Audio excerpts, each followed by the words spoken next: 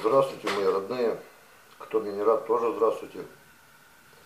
Сейчас хочу вам рассказать, что такое мозг.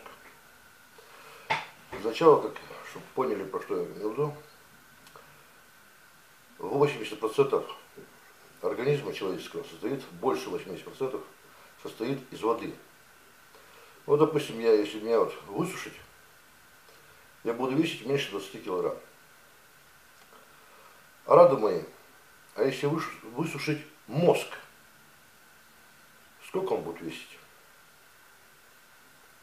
Вот вы понимаете, что ничего практически. Миллиграмм. Поэтому мозг полностью состоит из воды.